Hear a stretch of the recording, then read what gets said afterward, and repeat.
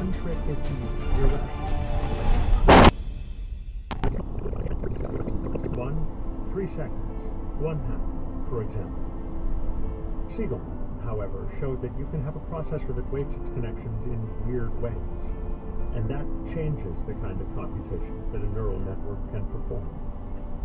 One trick is to use irrational. One trick